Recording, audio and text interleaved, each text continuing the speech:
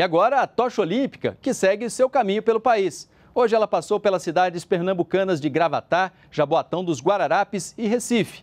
Amanhã, o símbolo dos Jogos Rio 2016 vai para a cidade de Ipojuca, também em Pernambuco.